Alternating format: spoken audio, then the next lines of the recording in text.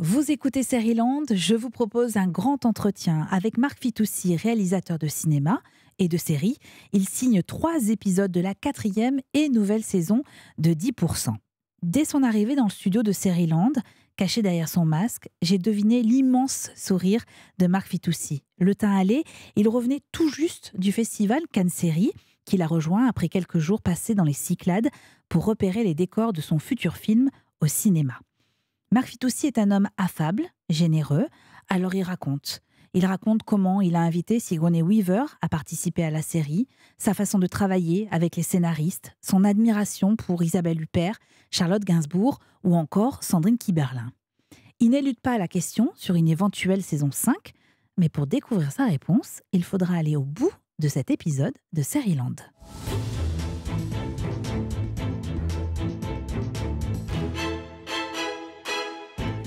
Je m'appelle Eva et dans mes rêves les plus fous, j'aurais adoré participer à l'écriture d'un épisode de 10%, la série qui depuis 4 saisons nous compte les aventures d'agents artistiques réunis au sein de l'agence ASK. À eux de gérer les carrières des comédiennes et comédiens, les caprices de stars, les castings et autres soucis perso. Mais pour débuter, il fallait revenir sur une scène, la scène. Andrea et Arlette, agents artistiques toutes les deux chez ASK, sont accoudées à une table située sur une mezzanine dominant une immense salle de bar-restaurant. La caméra plonge, suit leur regard vers un coin tranquille où deux comédiens discutent d'un prochain tournage. Elle est une star internationale, septuagénaire, rêvant de tourner avec un petit Frenchie. Lui est un comédien français, pas tout jeune, espérant beaucoup de scènes assises sur ce prochain film pour ne pas trop se fatiguer de quoi déprimer son éventuel partenaire qui décide de lui montrer qu'elle a encore beaucoup d'énergie. Andrea et Arlette n'en reviennent pas. Nous avec, Sigourney Weaver, car c'est bien d'elle qu'il s'agit, entame alors une chorégraphie endiablée, rejointe par des danseuses et danseurs. Euh, et la scène de danse? C'est un slow, donc ça ira. Pas du tout. J'ai fait changer. C'est une Lindy Hop. Lindy quoi euh? Ah, excusez-moi. Ah, vous connaissez le Lindy Hop? Évidemment. Qu'est-ce qu'elle fout?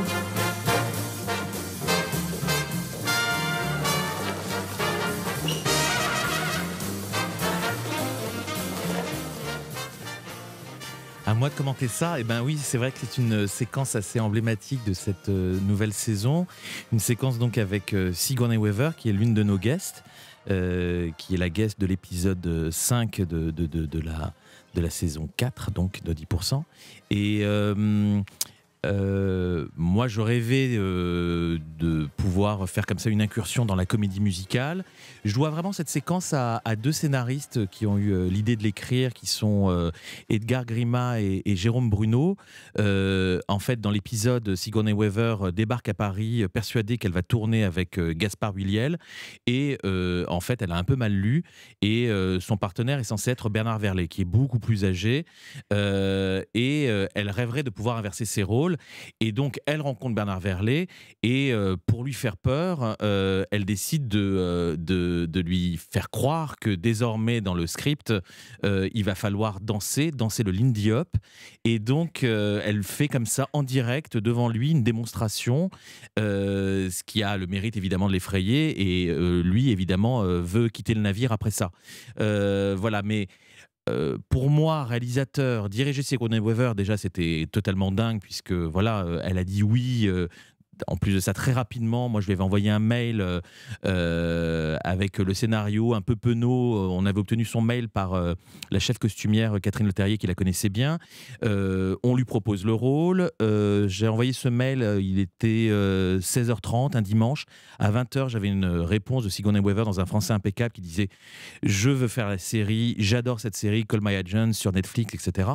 Et derrière, me retrouver à la diriger alors qu'elle doit, sous mes yeux, comme ça danser. Euh, c'était assez dingue et c'était effectivement une sorte d'hommage aussi au cinéma américain à travers elle et en même temps euh, au cinéma américain qui déboule euh, dans une série française, d'où La Marseillaise, interprétée par Claude Bouling. Bonjour Marc Fitoussi. Bonjour. Nouvelle saison donc de 10%. 6 euh, épisodes, dont 3 que vous avez réalisés. Les trois autres sont, sont signés Antoine Garceau, que nous entendrons dans quelques minutes. Première question idiote. Donc vous avez le droit à une réponse idiote. Comment vous faites pour décider qui va réaliser tel ou tel épisode? Est-ce que vous jouez à Shifumi? On pourrait jouer à Shifumi parfois parce qu'on a tous envie de diriger certains des guests qui vont, qui vont débarquer. Euh, mais très franchement, on s'entend très très bien avec Antoine et euh, ça s'est jamais fait, disons, dans la douleur. Voilà. Euh, alors curieusement, moi, je me suis un peu spécialisé dans les guests féminines, euh, mais peut-être aussi parce que voilà, dans, dans, le cinéma que je peux faire, j'ai souvent eu des héroïnes. J'avais déjà travaillé avec Isabelle Huppert, avec Sandrine Kiberlin, donc un peu naturellement, quand elles viennent sur 10%, on pense à moi. mais voilà, et si bien qu'Antoine maintenant est devenu un peu le spécialiste des guests hommes. il a eu l'année dernière euh, Gérard Lanvin et cette fois-ci donc euh, Franck Dubosc, José Garcia, Jean Reno. Oui, José Garcia, exactement. Euh, vous avez réalisé également des épisodes de la saison 3. Est-ce que vous vous souvenez du jour où vous recevez pour la première fois un scénario de 10% oui, parce que c'est marrant, je m'en souviens très bien puisque j'étais au ski. Euh, et que je me souviens avoir lu, euh, je ne pouvais pas skier, j'ai reçu par mail euh, ce scénario et je voyais la neige tomber, j'ai lu ce, script et, et j'étais ravi. Je me disais que j'étais ultra chanceux de pouvoir participer enfin à cette série. Moi, je sais que Dominique Bessner m'en avait parlé lors de la toute première saison. Producteur, créateur de la série hein, de 10%. Et il m'avait dit qu'il pouvait penser à moi.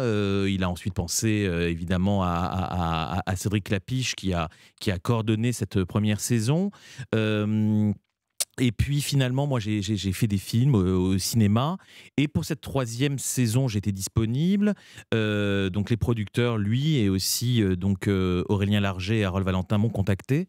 Et moi, j'avais découvert cette saison donc en tant que spectateur, et j'étais vraiment très très fan. Donc on me propose d'y participer. Je reçois enfin ce premier script, et je me dis, j'espère que je vais pouvoir moi réaliser cet épisode. En l'occurrence, ce ne fut pas moi, ce fut Antoine et c'était l'épisode donc euh, pour euh, Jean Dujardin. Et j'ai réalisé le suivant qui était celui de Monica Bellucci que, que, que, j'ai adoré tourner. C'est pas mal quand même, vous y avez presque gagné au change. Peut-être. Je sais pas. eh bien, je vous propose de plonger dans l'univers de 10% avec la bande-annonce de cette quatrième saison.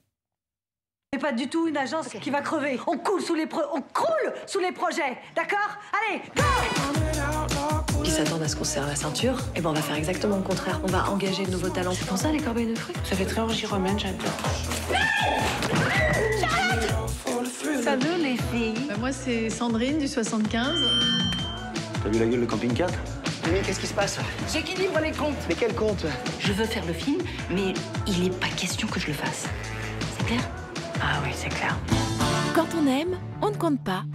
10%, nouvelle saison inédite à suivre dès mercredi prochain à 21h05 sur France 2. Marc Fitoussi, dites-moi si je me trompe, mais j'ai cru comprendre que vous étiez intervenu dans l'écriture de certains épisodes. Euh, jusqu'à quel point vous pouvez euh, intervenir? Est-ce que vous pouvez nous expliquer euh, quelle est la différence finalement entre un travail de réalisateur et un travail de showrunner où on sait qu'on a un peu la main sur tous les postes? Euh, moi, sur 10%, j'ai toujours euh, travaillé euh, à partir de, de, premières versions déjà écrites. Je n'ai pas initié d'épisode. en l'occurrence, par exemple, là, sur cette saison, moi, pendant que je, tournais et montais mon, dernier long métrage, Les Apparences, euh, je, des, scénaristes, euh, sur, euh, sur, sur cette saison. Et donc, ce n'est qu'une fois que j'ai terminé mon film que j'ai pu enfin découvrir les six versions qui nous ont été données à lire. Et ben, ce qui est un peu compliqué sur 10%, c'est qu'on fait appel à des réalisateurs de cinéma, et souvent qui sont aussi scénaristes, ce qui fut mon cas. et donc un peu naturellement, euh, j'ai dit au producteur que pour me sentir euh, euh, totalement à l'aise dans la réalisation, j'avais aussi besoin de, coécrire et donc d'y mettre un peu mon grain de sel. Euh, donc euh, j'ai pu reprendre mes trois épisodes. Euh, après, concernant ce poste de showrunner, moi je, suis un peu embêté en fait parce que je trouve que c'est quelque chose qui est encore un peu difficile à, définir précisément. Un showrunner par exemple comme Eric Rochant sur le Bureau des légendes, je le comprends. C'est-à-dire que c'est quelqu'un qui produit, qui écrit, qui réalise, qui monte, qui va même jusqu'à parfois retourner des séquences qui ont été réalisées par d'autres parce qu'il estime qu'elles ne, elles ne respectent pas la série, donc euh, il les reprend à son compte. Euh, avec Fanny Herrero, qui était sur euh, la précédente saison, pour moi, Fanny était surtout une coordinatrice d'écriture, une des scénaristes principales de de la, de la saison. Mais il m'est pour moi assez pénible et difficile d'avoir, disons, quelqu'un au-dessus de moi au moment où je réalise. Les producteurs ont fait appel à moi parce que j'étais un réalisateur de cinéma. Et en tout cas, au cinéma, je n'ai pas quelqu'un au-dessus de moi comme ça qui va me dire euh, euh, quoi faire et comment faire. Euh, donc, il y a souvent, en tout cas, forcément euh, des frictions entre euh, des gens qui se disent showrunners et les réalisateurs qui, euh, voilà, enfin, sont recrutés parce qu'ils ont envie d'apporter leur regard à la série. Alors, la série, elle s'exporte aussi à l'étranger. Donc, je me suis demandé, est-ce qu'il y avait ce qu'on appelle une Bible, c'est-à-dire euh, vraiment un document très Une précis sorte de cahier des charges. cahier des charges, voilà, qui raconte comment il faut tourner, filmer, euh, épisode par épisode. Ben, moi, je, suis arrivé sur la saison 3 et très honnêtement, je, je- je ne suis pas arrivé pour me dire euh, je vais tout changer. Mhm. C'est-à-dire que j'ai été recruté parce que on était certain que j'aimais la série et j'avais surtout envie qu'elle se prolonge dans, enfin, et, et que finalement ce cahier des charges qui n'est pas établi, qui n'est pas rédigé, soit quand même respecté. C'est-à-dire que je- j'allais pas débarquer en disant bah moi euh, je vais tout filmer à l'épaule maintenant parce que c'est ma manière de filmer euh, et que je trouve que ça va créer une sorte de renouveau. Oui, il fallait respecter la patte qui avait été euh, Exactement. mise en place que depuis moi, la par première exemple, c'était même assez intéressant, justement, par exemple, de ne pas choisir mes techniciens. J'ai repris les gens qui avaient travaillé déjà sur les deux premières saisons. Euh, donc, pour moi, c'est un peu un challenge parce que c'est vrai que je me retrouvais à travailler avec des gens qui se connaissaient déjà entre eux, euh, mais surtout, je savais qu'ils avaient déjà auparavant très très bien travaillé entre eux. Et donc, euh, il me fallait euh, finalement aussi un peu m'accorder et, ça, cet exercice, en tout cas, enfin cette gymnastique, elle est, elle est in- intéressante. Enfin, moi, j'ai en tout cas beaucoup appris en tant que réalisateur de série. Alors, j'ai un œuvre à vous faire, euh, Marc Fitoussi. J'ai une préférence pour un des épisodes de cette saison. Chance pour vous, c'est celui que vous signez. Enfin, que vous signez. Le pauvre Antoine Garçon, il m'a m'engueulé. Est et, vous... et vous mettez en scène Sandrine Kiberlin qui, qui se décide, enfin, qui a, qui a choisi de se lancer dans le stand-up. On est à quelques minutes de sa première. Elle est dans sa loge et son agent, interprété par Grégory Montel, débarque. Ça va, Sandrine? Ah, Gabriel, tu m'as vu? J'étais comment? Je t'ai vu où? Bah, j'ai fait le 20h de Thomas Soto, un peu de promo pour ce soir. Pas un peu précipité, non? Bah, non, écoute, il faut informer les gens, quoi. Un peu de télé, un peu de radio, c'est le minimum. Tu m'as pas non plus écouté chez Aliagas? Ah, ok, ouais, je comprends mieux pourquoi là-bas c'est blindé, quoi. Ah, c'est blindé. Ah ouais. Oh là là. Je peux plus respirer, j'ai mal au ventre. Ça va? Non, je vais vomir. En fait, je veux mourir, en fait, je crois. On peut annuler si tu veux, hein. Ah bah non, pourquoi? J'adore. J'adore, j'ai hâte. J'ai peur. En même temps, je suis contente. J'ai mal dans tout le corps. C'est génial. Ah la vache, j'en bave, mais tu peux pas savoir. Ah, c'est extra. Pardon, je ris en, en réécoutant pour la énième fois cet extrait. Euh, Marc Fitoussi, on peut dire que Sandrine Kiberlin fait partie de vos actrices fétiches? Ah, complètement. Parce que Vous avez fait votre premier long métrage avec elle, La vie Exactement. J'ai travaillé avec elle euh, sur Pauline Détective et. euh, euh, Vous avez senti ce, ce potentiel comique qu'elle avait. Vous êtes un des Ah, mais- premiers à l'avoir euh, mis mais en Sandrine, valeur. elle est irrésistiblement drôle. Enfin, c'est, euh, elle a en plus de ça, voilà, ce débit mitraillette, euh, ce, cette cadence, cette musique pour pour la comédie. Donc, par exemple, je sais que c'est parce que on, on avait déjà travaillé ensemble que euh, Sandrine, euh, alors, euh, se- pouvait se laisser tenter par, euh, par la série. Parce qu'il faut quand même. Oui, c'est pas euh, vous qui l'avez appelé en lui disant je vais réaliser un épisode de 10%. Moi, tout ce que j'ai dit en fait à la production, c'est euh, de sonder Sandrine d'abord, euh, de lui dire écoute, moi je pense que je vais retravailler euh, sur cette nouvelle saison. Est-ce que tu as envie d'en être? On va réfléchir dès lors à un sujet pour toi, mais est-ce que ça t'amuserait si, voilà, si on se retrouve sur, sur, sur cette série? Et elle m'a dit oui. Et donc derrière, euh, il a fallu euh, réfléchir à un sujet. J'ai laissé tranquille euh, les, les- les- les scénaristes et, et, euh, et- et voilà. Et c'est vrai que Je me suis, pardon, excusez-moi, je vous coupe Marc Fitoussi, mais je me suis quand même demandé si elle n'était pas vraiment tentée par le stand-up, Sandrine Kiberlin. honnêtement, elle n'est pas du tout tentée par le stand-up. Non, mais ce qui était drôle, c'était de se dire que on a une actrice qui, c'est un peu à un moment essayé la chanson. Donc, on peut dès lors s'imaginer que euh, elle euh, peut être comme ça une actrice pleine de lubies, qui euh, se lasse de tout, qui a besoin de se réinventer. Et donc, euh, pourquoi pas le stand-up? Puisqu'en plus de ça, on se rend compte effectivement aujourd'hui qu'un tas d'acteurs passent par le stand-up ou sont issus du stand-up et, et deviennent bankable grâce à ça. Donc, donc voilà, mais moi, ce qui m'amusait vraiment et ce qui amusait Sandrine, et c'est là que Sandrine a beaucoup d'humour, c'est que non seulement elle veut s'essayer au stand-up, mais elle va se révéler complètement nulle dans ce domaine. Et- et ça, par exemple, euh, peut-être que toutes les actrices ne sont pas prêtes à incarner ça. C'est-à-dire à se montrer sous leur euh, vrai nom et euh, à être non seulement euh, pleines de lubies, mais en plus totalement nulles euh, dans ce qu'elles entreprennent. quoi. Totalement nul, malgré les conseils quand même de Muriel Robin, hein, qui, vient lui, qui vient la coacher. Ça veut dire quoi, Marc Fitoussi, quand on parle de direction d'actrice et d'acteur? Et je me suis demandé, est-ce que, question encore là, est-ce qu'il y a une différence sur un plateau de cinéma et sur un tournage de série? Quand vous dirigez une actrice ou un acteur? Euh, moi, je travaille exactement de la même manière. Et d'ailleurs, j'ai eu. Quand, j'ai euh, rejoint 10%, j'avais très peur de ne plus pouvoir travailler de la même manière. Ce qui a vraiment changé pour moi euh, par rapport au cinéma, c'est la rapidité de fabrication. C'est-à-dire que je faisais des films qui se tournaient entre, on va dire, 7 à 9 semaines. Là, soudain, un épisode de 10%, c'est 11 jours de tournage. Donc, c'est un autre rythme. C'est apprendre à tourner avec deux caméras, etc. Mais je ne voulais surtout pas ne plus pouvoir diriger les acteurs. Euh, diriger les acteurs, franchement, enfin, euh, je pense que euh, tout ça diffère selon l'acteur. Enfin, euh, moi, je pense que c'est surtout être diplomate, euh, être encourageant. Enfin, après, il y a d'autres méthodes, c'est-à-dire qu'il y a des réalisateurs qui ont besoin de, de crier après leur, leurs acteurs pour, pour, pour les faire jouer. Moi, je sais que j'ai besoin de les encourager, de les aimer, de les observer, de, de rire quand ils me font vraiment rire. Et c'est vrai que quand je suis devant mon combo et que je vois Sandrine jouer ses scènes, je suis hilar. Enfin, Combo, il faut peut-être que vous nous racontiez alors- ce que c'est un combo. ah bah, le combo, c'est juste le retour vidéo, c'est-à-dire d'avoir Oui. un écran, parce qu'on peut pas euh, forcément, euh, comme on tourne en plus de ça à deux caméras, il faut bien trouver un endroit où on est un peu tranquille et on peut observer tout ça. Et donc, on est face à deux écrans, puisque deux caméras.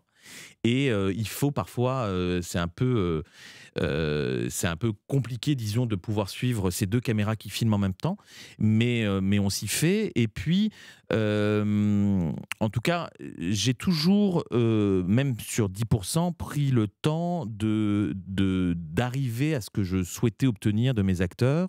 Et quand bien même on a peu de temps sur 10%, on a le droit de faire des prises. Et tant pis s'il faut faire des heures sup. Ça, mes producteurs vont pas aimer, mais c'est vrai que je, m'en suis. euh, euh, voilà, je, suis un peu connu pour en faire beaucoup, mais, mais parce que je, trouve que cette série et la qualité des textes, etc., m- méritent le fait qu'on s'applique et que surtout tous ces acteurs tous ces guests qui nous font euh, l'honneur de venir soient quand même au final récompensés et, et, aiment se voir. Quoi. Quand vous dites vous êtes capable d'en faire plusieurs de prix, ça veut, ça veut dire quoi? Ça veut dire 5, 10, 20 Ça veut dire que parfois, il m'est arrivé d'en faire euh, jusqu'à 17. Enfin, voilà. Mais, euh, mais franchement, enfin. euh, je dis ça, c'est pas parce que dans les, les premières prises, ils ne sont pas bons, etc. Ce qu'il faut surtout souligner d'ailleurs sur 10%, c'est que là, on parle des guests avec Sandrine, par exemple, mais on a tous ces récurrents et ces récurrents sont hyper bons. Enfin, c'est-à-dire que dès la première prise, euh, ils sont euh, ultra efficaces et, euh, et, ils visent juste. Moi, c'est ça qui m'a réellement épaté quand j'ai débarqué sur 10%. C'est que je me disais, OK, on a très peu de temps, mais si on a à chaque fois besoin de la refaire et de la refaire, euh, 11 jours ne suffiront pas. quoi.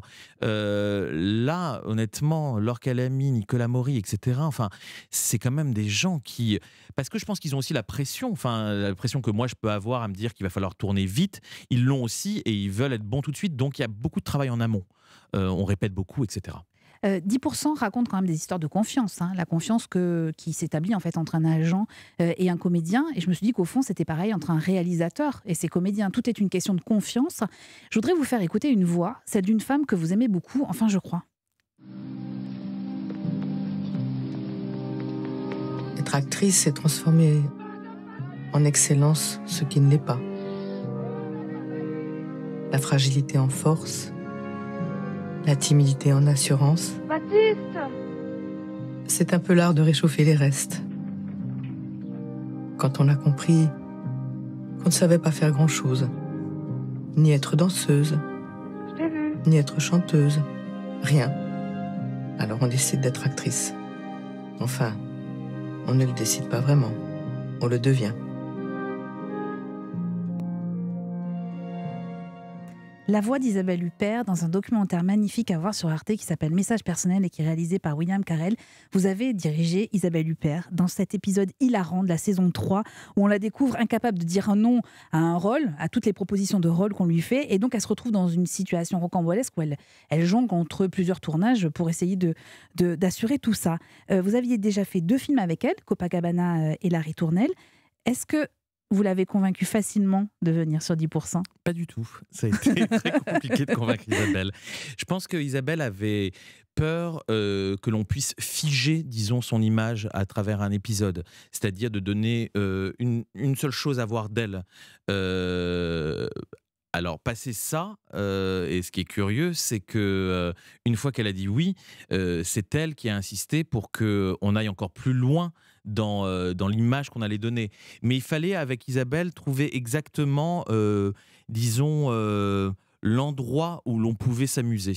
Et jouer sur sa carrière, euh, euh, disons, euh, si remplie et le fait qu'elle soit contrainte comme ça de jongler entre plusieurs projets et à passer d'un tournage à un autre, etc., c'était une idée qui lui plaisait beaucoup.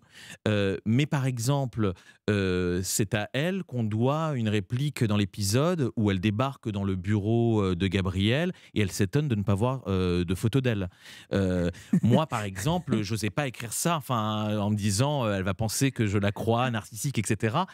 Eh bien, Isabelle s'amuse de ça et, nous suggère cette réplique. Vous, vous avez dirigé aussi Monica Bellucci dans cette saison 3. Euh, Est-ce que ces deux comédiennes, le fait qu'elles acceptent de venir et de se moquer de leur image, a changé quelque chose ensuite dans 10% pour, Notamment pour cette saison 4, où en l'occurrence les trois comédiennes que, que vous dirigez, hein, Sandrine Kimberlin, euh, Charlotte Gainsbourg euh, et Sigourney Weaver, sont sur cette euh, même tendance. Oui, je le pense. C'est-à-dire que euh, l'année, enfin, pardon, sur la, la précédente saison, euh, Monica Bellucci, d'abord dans l'épisode 2, euh, avait une telle autodérision euh, et euh, c'est par exemple Monica qui m'a suggéré ce, ce- cet imperméable léopard Dolce Gabbana qu'elle porte et, et qu'en réalité elle ne porte absolument pas dans la vraie vie. Mais elle m'a dit euh, voilà On les gens comme ça, voilà. m'imaginent comme Ouais. ça, autant y aller quoi.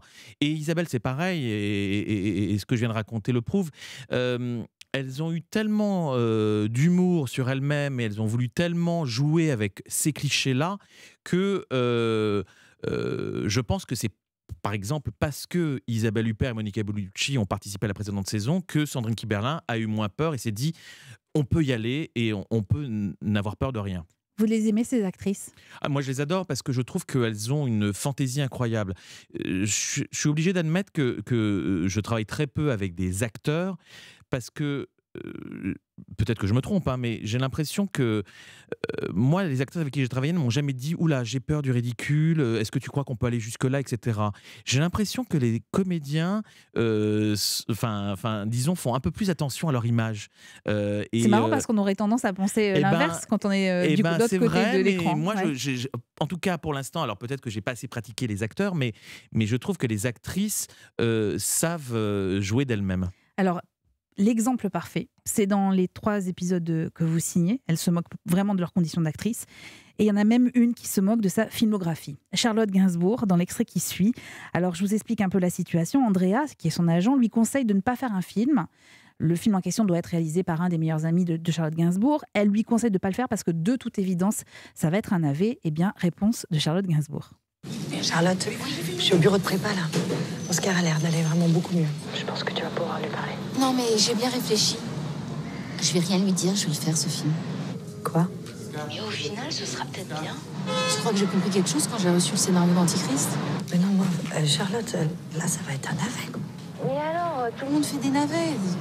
Il y en a, c'est pour payer leurs impôts, ben moi, ce sera par amitié. Non, je peux pas te laisser faire ça, je te rappelle. Marc Fitoussi, faut-il accepter un film parce qu'on est ami avec le réalisateur Je ne pense pas. Surtout pas.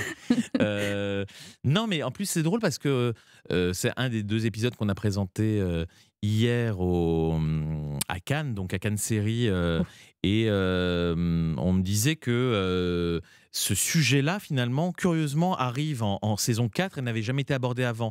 Et c'est vrai que pourtant, c'est un peu, finalement, avoir comme ça des, des, des talents euh, qui s'engagent sur des projets pour de mauvaises raisons et derrière des agents qui doivent euh, essayer de, de rafistoler tout ça et de faire en sorte que euh, leur talent ne, ne participe pas au film, mais sans qu'ils sachent, sans que la vérité soit, soit, soit révélée, finalement c'est un peu le, le quotidien, je crois, des, des- des agents.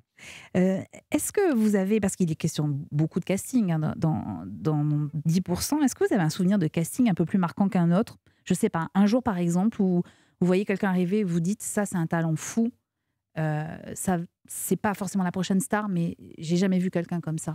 Par rapport à 10% ou, Par euh, rapport à 10% ou dans votre carrière de bah, moi, réalisateur j'avoue que là, sur le dernier film que j'ai fait, qui s'appelle Les Apparences, euh, Avec Benjamin Biolay exactement, donc. Benjamin Biolay, Karine Viard, et il me fallait trouver un acteur autrichien euh, pour. euh, et moi, honnêtement, voilà, le cinéma autrichien, à part Michael Haneke, je connais pas grand chose, et donc il a fallu se lancer dans un casting.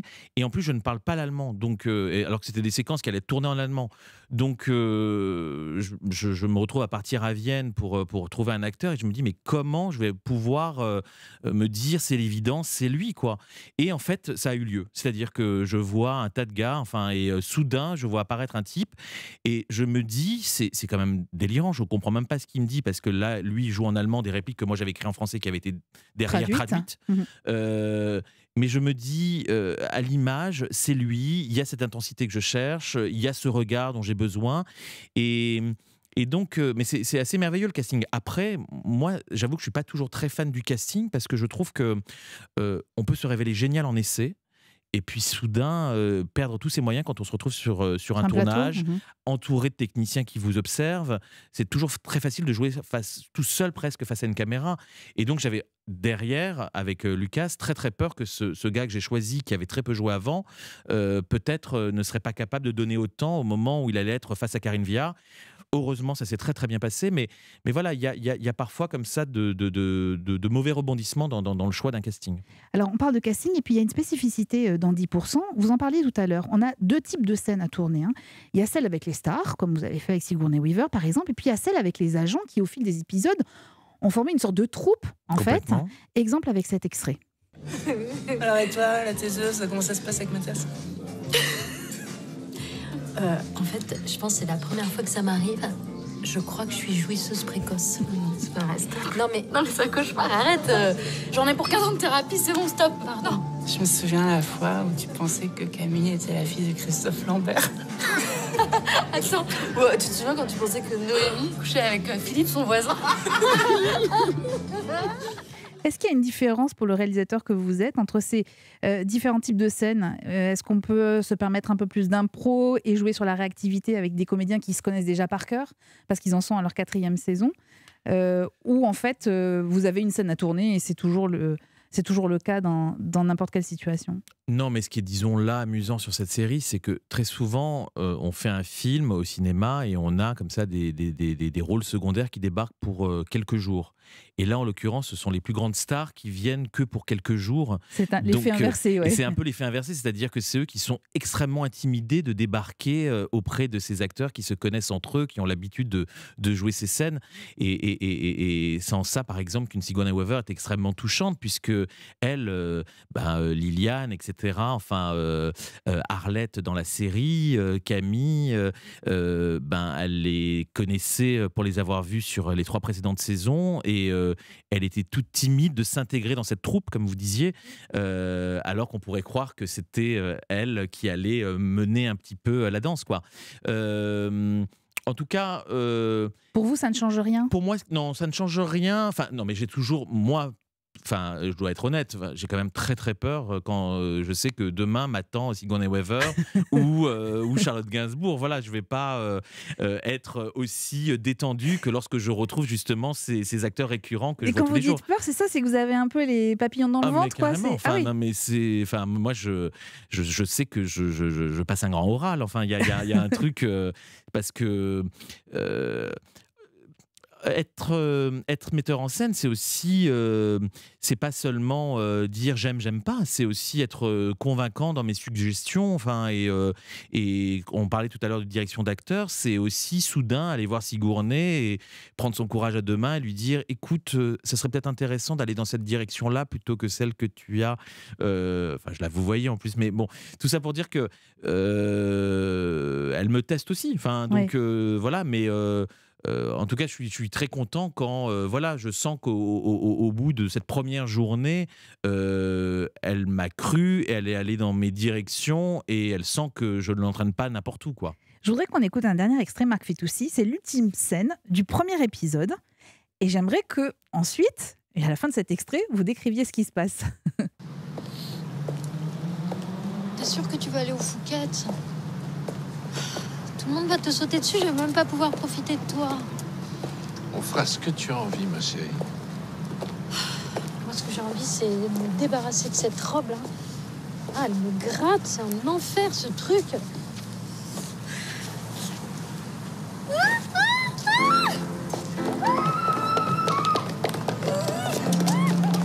Complètement folle. Oui, folle de toi. Marc Fitoussi, Laure Calamy, Thibaut de Montalembert face à face. Vous êtes obligé de nous expliquer ces petits cris que l'on vient Bah, ces d'entendre. petits cris, ils sont- ils s'expliquent parce que, parce que Laure, effectivement, a une robe qui, qui la gratte, qu'elle a eu à porter pendant la cérémonie des Césars, et qu'elle décide de, de complètement quitter. Alors qu'on est comme ça sur les quais euh, euh, au, bord euh, de la Seine. Et. euh, et elle décide de- d'enlever sa robe, si bien qu'elle se retrouve intégralement rue, euh, nue, pardon. Dans la rue, mais Dans nue. la rue, mais nue. Euh, voilà. Qui évidemment surprend, euh, surprend Mathias, qui s'empresse d'aller la, la- la recouvrir avec, avec son par-dessus et qui l'embrasse. Et là, la caméra s'envole pour un un panoramique comme ça sur, sur un bateau-mouche qui, euh, qui longe la Seine. Euh, euh, avec Laure Calamy, on peut se permettre ce genre de séquence. Elle a une telle audace, euh, et d'ailleurs, elle l'a prouvé là récemment dans Antoinette dans les Cévennes. Euh, Le dernier film. Son, Ouais, son- le son- son dernier dernier film. film à, à- à- à l'affiche. Euh, en tout cas, moi, j'ai écrit cette séquence euh, aussi parce que voilà, je savais qu'elle allait être interprétée par ces deux-là. Euh, Est-ce que- est-ce qu'elle est à l'écran conforme à ce que vous imaginiez? Complètement. Enfin, en tout cas, c'est vraiment. Alors, pour le coup, il y a autant il y a des séquences, enfin, qui sont très travaillées, très pensées, euh, et c'est vraiment comme ça que c'était presque une séquence qui était storyboardée. Euh, Quand vous dites storyboardé, c'est-à-dire quasiment dessiné quasiment en fait dessinée. Ouais. Elle n'était pas dessinée, mais en tout cas dans ma tête, elle l'était. Voilà. Enfin, c'est-à-dire que je voulais que cette caméra ensuite s'échappe, les laisse sur ce baiser, qui est quelque chose de 10% est quand même une série qui met un peu en avant un, un pari très idyllique. Aussi Celui de parce Douaneau, que- on pense au baiser de Douaneau. Complètement. ouais. Et puis aussi parce qu'on sait que c'est une série qui, qui marche très fort à l'international et qu'on a envie aussi de gâter des spectateurs à l'étranger qui vont voir un peu de Paris. Euh, donc il y avait de ça. Et puis, euh, euh, moi, je suis assez épaté par, euh, euh, ce couple, euh, je parle de donc Thibaut de Montalembert et, et Laure Calamy, donc euh, Mathias et Noémie dans la série, parce que en fait, je crois que quand la série a commencé, on ne s'attendait pas à ce qu'ils allaient finir ensemble et autant s'aimer. Et finalement, c'est un couple qui marche du tonnerre et qu'on aime voir ensemble malgré toutes ces péripéties. Et voilà, et aujourd'hui, c'est un couple pour moi de cinéma et d'où cette musique un peu hollywoodienne. Enfin, j'avais fait un peu la même chose sur la fin de la saison 3, on les voyait sur la place Vendôme. Euh, je trouve que voilà, enfin, il y a, il y a- il y a une magie qui opère à chaque fois entre les deux. Alors, la saison se conclut un peu étrangement, Marc Fitoussi. Ça sent la fin, mais pas totalement. Donc, je me suis dit que vous auriez peut-être un petit scoop pour Seriland. Oh, le oui scoop, ou euh, non pour une saison 5 En fait, en tout cas, ce qui est drôle, c'est que là, donc, on a présenté en fait les deux premiers épisodes à la, au festival euh, De Cannes Série. Cannes Série, tout à fait. Et euh, on a fait que parler de ça. C'est-à-dire, euh, on, était entre nous et on se disait, allez, il faut qu'on recommence. Est-ce que c'est une saison 5 Est-ce que, euh, est-ce que ce sera un Christmas euh, épisode? Euh, euh, Mais voilà, euh, en tout cas, ce que je peux dire simplement, c'est que euh, tous ceux qui ont fait la série en ont très envie. euh, et à commencer par les acteurs, voilà.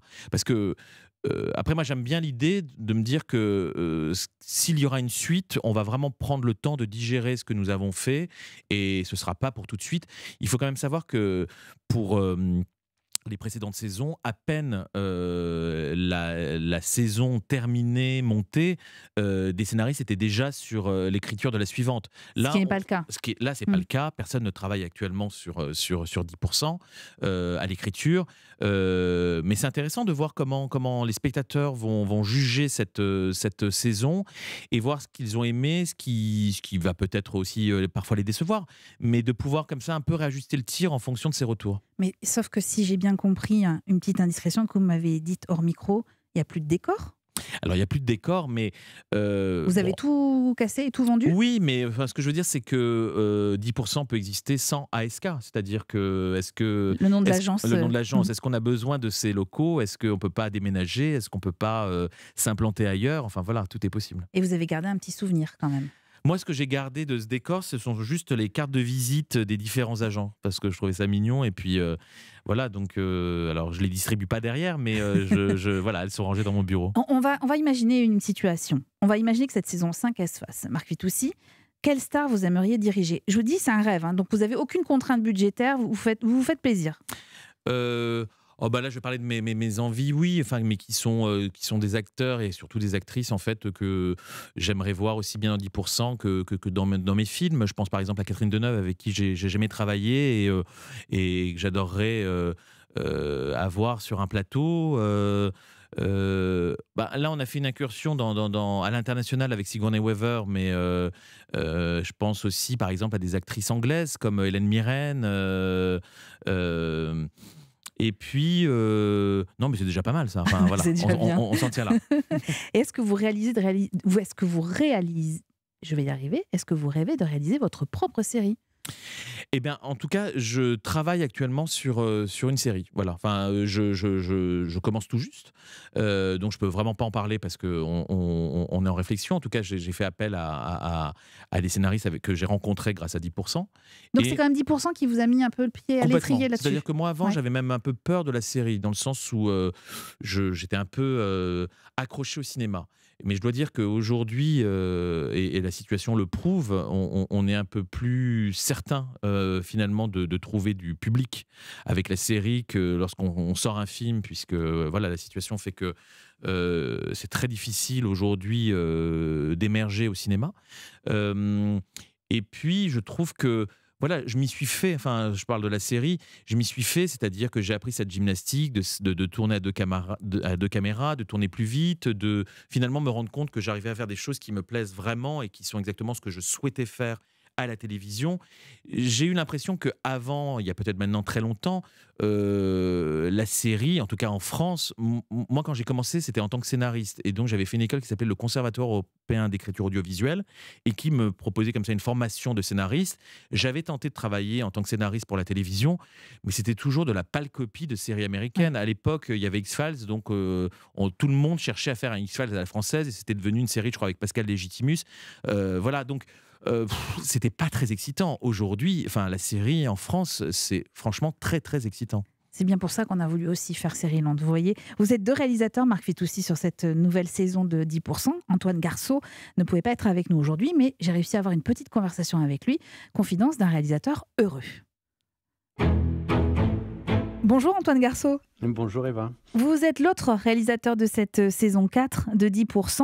Euh, Marc Fitoussi vient de nous expliquer que vous répartissiez les épisodes en bonne intelligence et que vous n'avez pas eu besoin de jouer à Shifumi. Est-ce que vous confirmez cette information ou il nous a menti? Non, il a dit la vérité, la stricte vérité, je le jure. C'est-à-dire que pour cette saison-ci, on a procédé de la façon suivante. C'est vraiment ça s'est fait très simplement. C'est-à-dire que moi, comme j'ai la chance de réaliser des épisodes depuis la première saison, eh oui. Mhm. j'avais jamais réalisé de sixième épisode. Et du coup, moi, je, vraiment, je voulais faire le sixième. Si j'en avais qu'un à faire, c'était le sixième pour clôturer cette aventure euh, qui a, faut bien le dire, changé ma vie là, depuis cinq ans.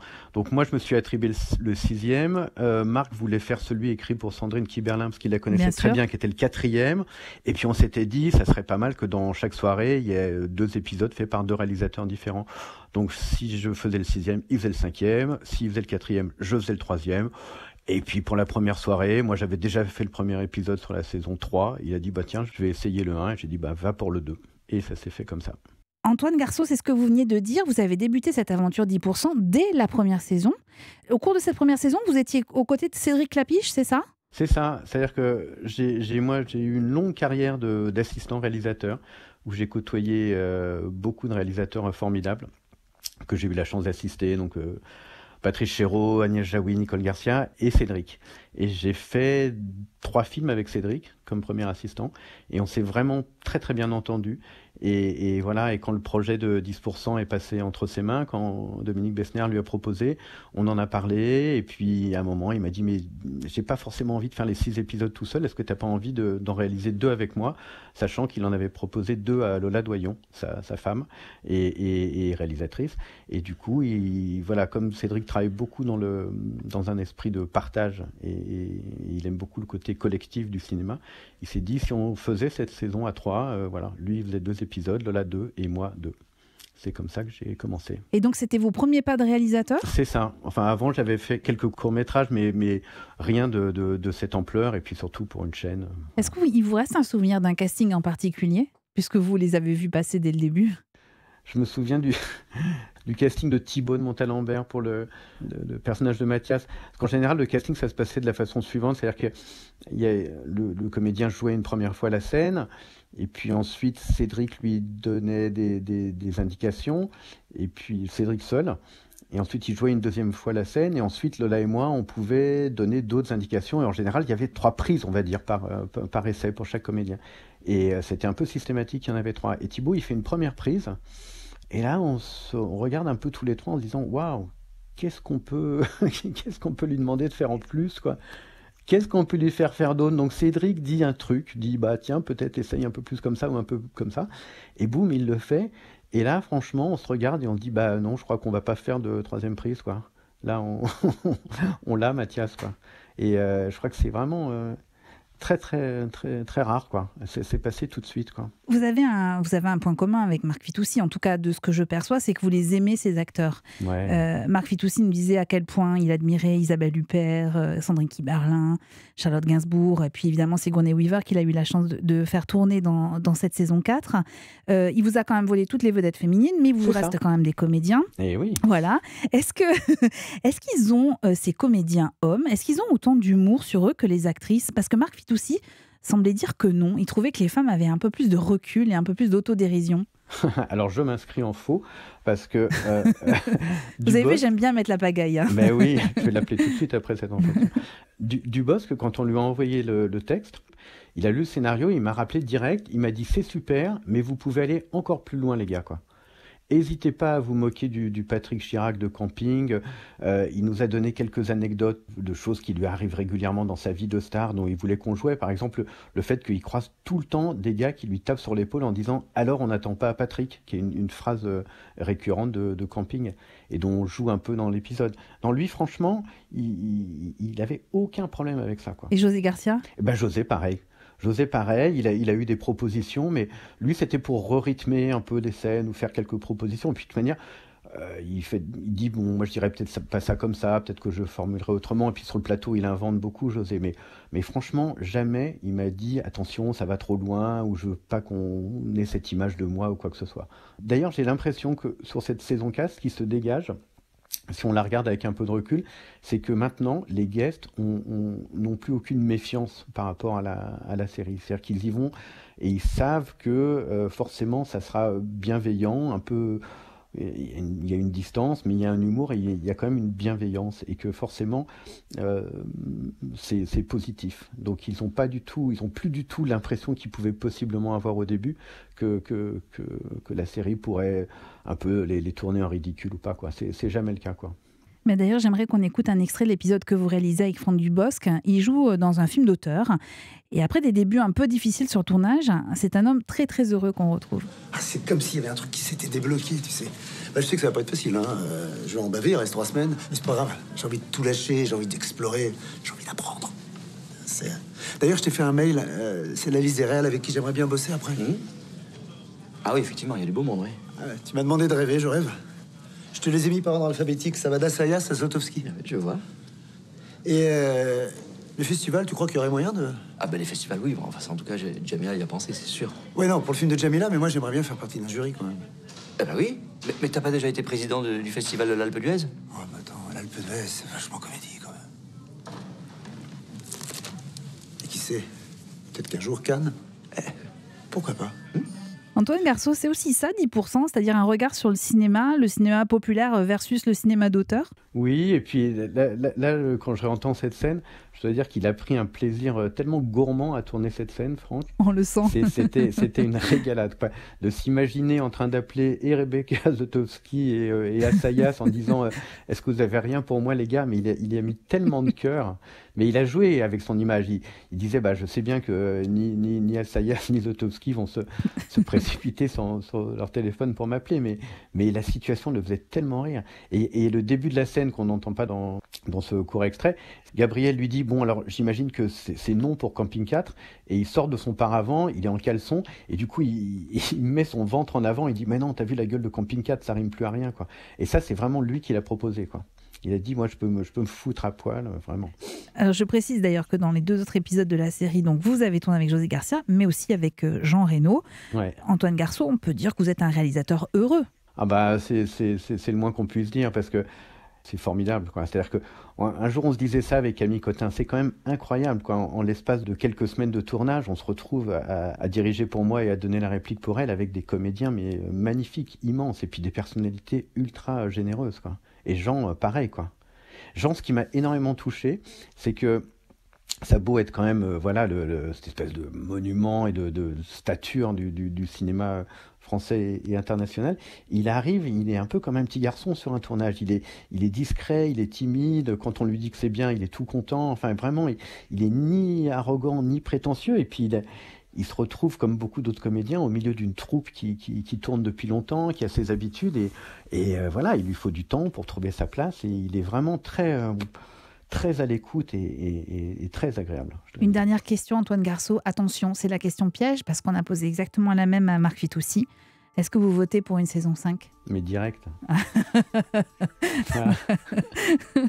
Donc on était bien en ligne avec un réalisateur heureux qui vote pour une saison 5. Merci beaucoup Antoine Garceau. Je vous en prie avec plaisir.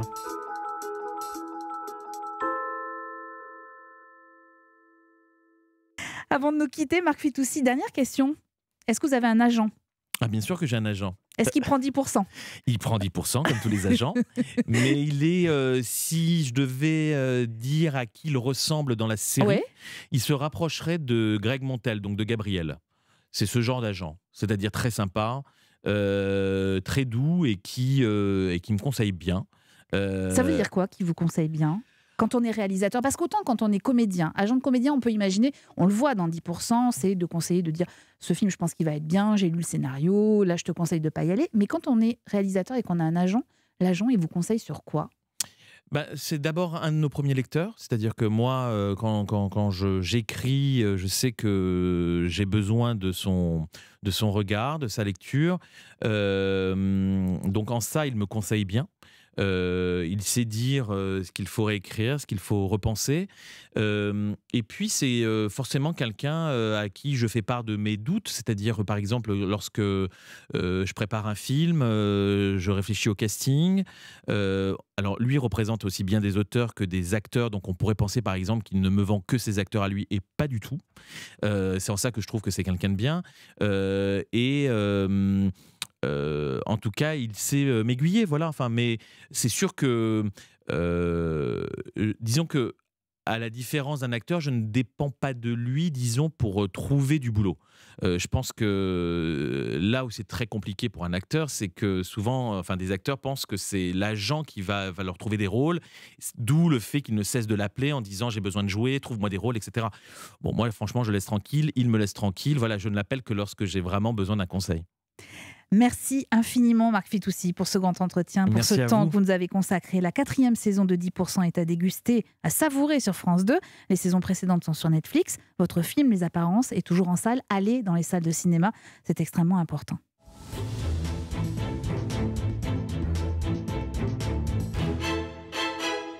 La semaine prochaine, deux nouveaux épisodes de Série-Land vous attendent. Il sera question des élections américaines. Avec mes sérivores préférés, nous reviendrons notamment sur les grandes séries qui évoquent la Maison Blanche et sur une nouveauté, The Comey Rule, l'adaptation du best-seller de James Comey, l'ex-directeur du FBI.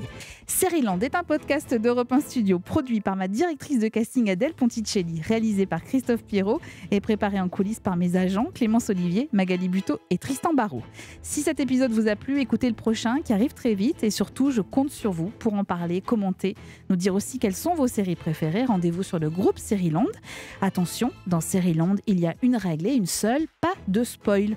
Et puis abonnez-vous, comme ça, on ne se quittera plus.